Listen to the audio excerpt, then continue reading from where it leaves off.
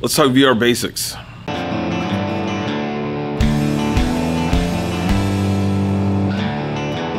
Hey class, Mr. G here. Welcome back to Wonderful Exciting Class. Today is a I'm going to I'm starting a series. The series is solely devoted around my VR equipment and how can we use that in the classroom. Now, as we're moving forward in the learning space and we're coming out of virtual assignments, virtual learning, we're still going forward in a new mentality. So as we're coming out of that, we have to think about education as a sense of it's a expanding universe. Where is this thing going? And the traditional educational landscape is is not the same anymore and it's never going to be the same. We have to keep that in our heads. It's going to be different moving forward.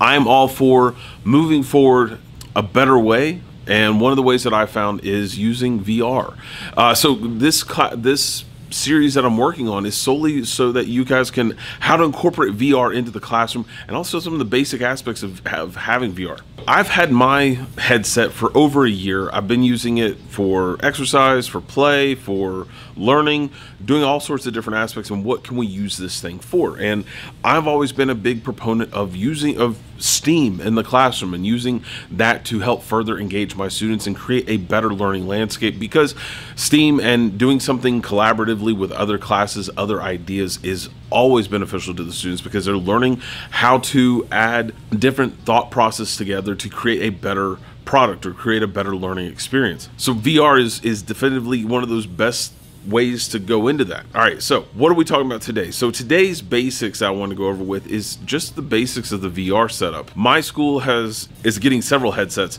and I'm having to create different ways to use it. All right, so let's go ahead and rip one of the worst things off on the VR VR aspect is this. Um, you basically have two options, which is you can go with the Oculus Quest, which is what I have, the Quest 2, or you can go with uh, one of the other ones. Here's the big difference.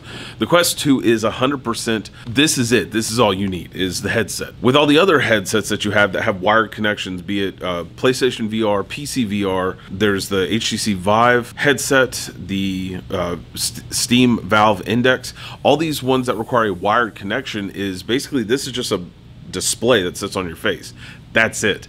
It's not running the programs themselves. That is something you got to remember because as you get into VR, if you have a headset that you have to tether to a computer, that means you also have to buy a computer to go with the headset uh, which most people don't have. Most people don't have these massive, expensive gaming rigs, which is what you would need. You need you need a high-end gaming rig to run all that stuff, which means a souped-up CPU, which is your computer processor, your GPU, which is a graphics processor, which is those expensive graphics cards, which to run those, and that's a lot of expense that you're already having to put in. Some of that stuff can be, you know, you could buy, you could build a gaming rig for as little as a thousand bucks, but that's a thousand bucks. Uh, the Quest headset itself, the, for the cheap version, you you got for this you got two varieties. You have the light version, you have the pro, the more expensive model. Uh, I bought the expensive one, uh, which the cheap one starts out at two ninety nine, three hundred dollars. The more expensive one's hundred dollars more. It's four hundred dollars. The difference between the two is the amount of space that's inside of it. So uh, the lower one now is 128 gigs of space. I got the 256 gigs of space in mine because I'm recording a lot of stuff for this, as well as my students. I'm recording how I'm doing certain things so that we can watch them on screen and, and talk talk through them. Learning using this as a learning tool is it's a necessary evil. I'll put it that way because there's there's a lot of teachers out there who are like, I don't want my kids glued to another screen. Yes and no at the same time because while they're yes, it's a screen that's in front of your eyes. You are having more of a interact experience. You're you're going to be engaged in a different way. There's there's rooms that you can set up. There's there's different apps that you can use where we're all inside of the headset at the same time. Uh, so I have uh, one of the experiments that were been, that I did last week with one of my uh, with one of my gym teachers is there's uh, there's several games that you can do co-op players with. So we we have uh, Walkabout Mini Golf, Gorilla Tag, and Bowling. Uh, I think it's ForeVR Bowl. Uh, those are three games that you guys can I can be in my room, he can be in his room on the other side of the campus, and we can play at the same time, hear each other, talk to one another. So it's almost like a phone call sound, but we can sit there and interact with each other in the VR space, which that's one of those things that we were missing when we were all uh, teaching virtually 100% is you didn't have that 100% engagement with whoever was in the classroom so using that to move forward is a necessary thing. I think that's that's one of those things we need to think about. Instead of having a Chromebook where it's a flat screen and the kids are typing, having something that they have to manipulate with their hands and they're seeing with their face, they, but you feel like you're in that space. And I think that's an important thing for us to keep in mind. So today's class is really over some basics of the headset. Uh, one of those things that I'm using this as a training tool, as a teaching tool, as well as uh, opening it out to everybody. So what are the basic things that you need to know about the headset? So today's topic is that uh, we have my headset here, which you have the main body of the headset, and then I have aftermarket head strap aftermarket head strap. So this one has a dial knob on the back and I like this one because it fits on the head a lot easier and it's got this nice rounded section on the back so it cradles the back of my head so I can look around a lot easier.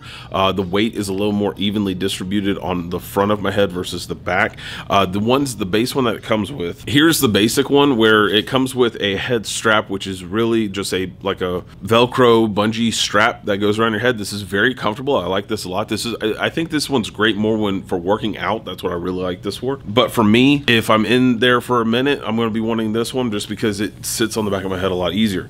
Now, one thing that people say is it feels heavy on the front of your face, and I will say yes, it can get heavy on your on the front just for because you know this does have some weight to it.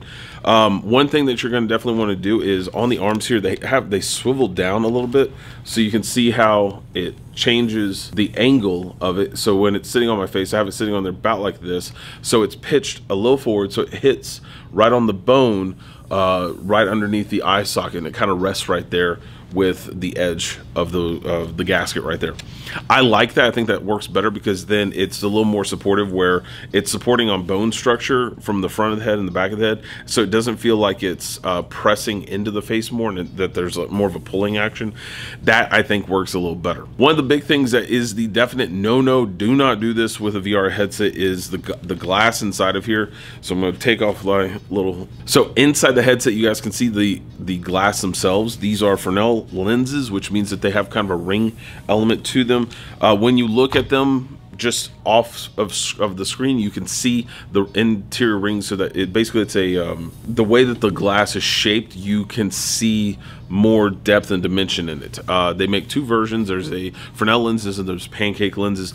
Pancake lenses are a little more flat glass. There's not um, there's not those ridges in them. I don't really notice a difference. Uh, I know that if you look online, there's differences and reasons why they're different. I, I just don't.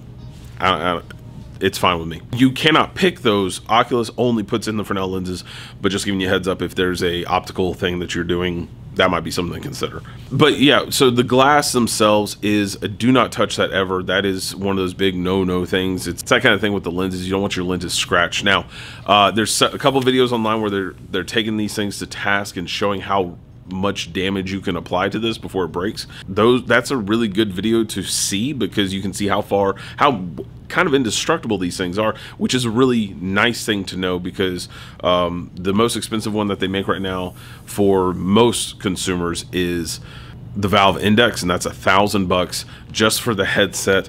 The controllers for the Valve Index are a different price set. They they don't come in the set with it. So you got to think about that when you're purchasing these kind of things. Again, this is an all-in-one set. That's why I'm a big fan of it. The face face cover here, uh, most of the time now, uh, because Oculus, when they or Meta, as it is now, um, they have this rubberized gasket that used to have to buy. I think it comes with one of them now. The new ones that we just got in, they do have uh, gaskets for them.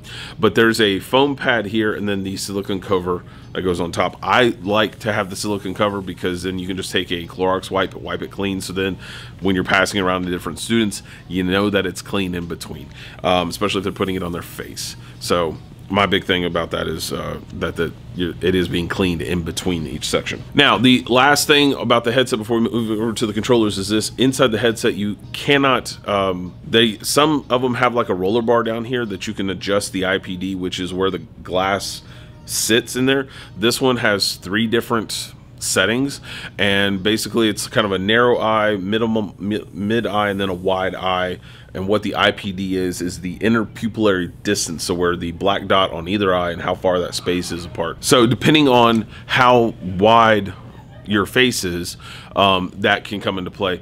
Also, they make a kit for uh, like a fitness kit that comes with a narrow, medium, and wide face coverings the for the face mask too, so that way you can change out if you have a smaller face. Also, if you have a younger audience, um, I've got a couple kids who they have to have the smaller one because their face when they put it on it doesn't turn on because their face is too small for the headset thing. These things happen just know ahead of time of next. Moving on to controllers. You have two buttons and then a slim button down here and the joystick you have the two controllers on front. And the big thing to remember is when you're you're inside of the inside of the headset the front index controllers are basically the main control that you're using. You click on clicking things with the front controller the front one i usually call this the gun trigger just because it's easier for kids to understand like what we're talking about. And then you have a side controller as well. That one really doesn't come into play. Most of the time you're just clicking on the index controller and not on the sides uh, scrolling through maps, you can use the toggle knob or you can kind of grab it with the front controller and then drag up and down on the menu setting and you can get through those pieces that way as well. But knowing the button layouts is kind of an important thing because I don't know how many times I've had to explain to students as we're inside the headset of use this button, use this button, and they don't see the head the buttons first. So that's one of those things. Uh, it's good to know how this thing's laid out. All right, final thing for today's video is the Facebook connection. Um, that this is like the one hardest thing about the Quest is it is tied to Facebook. There is no way around it right now. They don't have a pro model. There's talk about bringing a pro model to market, and then you won't have to hook into Facebook to get your Quest working. As it stands right now, you do have to do that. And like I said, we have multiple headsets, and I'm having to build multiple Facebook accounts and have other teachers build Facebook accounts that we can keep track of at a local level so that we only have access to those here. Um, when you're doing this, you have you have to set up a pin, you have to set up a an account with Oculus through that Facebook account. If you're if you're doing this, do have that in mind. My Oculus is tied to my Facebook account. The school Oculuses are tied to a school Facebook account that we've used to um, kind of work through the process. I've, I've got mine tied to uh, two other teachers that we, we work together so they can put the app on their phone and download download the software because we do need that form of contact. Uh, makes it easier to where they will use their connection to buy or manage the apps that we're using. Now, all of these apps uh, that you that you're having on the headset is what you use to access all the different programs, and they're all downloaded to the headset themselves but you do have some that you have to pay for. And this is a, a money thing that some people are going to have issues with too where you buy the headset there are a ton of free things on the quest store. Also app lab if you unlock developer mode which is another thing that i'll go into in a different video you can have access to a ton of free stuff and ton of free content that is great to use for the classroom. But uh, there's certain apps that you got to buy uh, for my uh, again with my uh, PE coach, me and him were like, we got to get the bowling app, we got to get uh, Walkabout Mini Golf app. Those are two really good apps where we can have cross play, uh, where students can be involved, engaged with one another. We can uh, take measurements on them, like how many, if they're playing through a hole of golf, how many times did they, they that first time that they played through, what was their final score? Play it through again a month from now and then retest the score. That's your benchmark. Uh, you've got a pre and a post test based upon playing mini golf. Uh, it's great. So i mean there's a lot of really good attributes of instead of a kid sitting down at a desk taking a test or getting on that chromebook and taking an online test that just basically clicking through answers this is actually applying a methodology applying a knowledge element to where they have to move in that headset into inside the device to show that they progress better um, I would much rather have, have a student being graded on application of knowledge instead of clicking on a dot. I don't think it's a good test measurement. No. And I've been writing curriculum for a long time and I, I, really just don't like it. I don't think it's engaging the student enough, but that's my thing. So I'm to go ahead and wrap up here today. So, uh, but in the next video, we'll be going over some more stuff. So in the next video, we're going to get into the hub more and start going through some of these apps and going through some of the processes. Uh, one final thing is this before we go for today is the Guardian. I'm not going to demo the Guardian now. I'm going to do that at the beginning of the next video.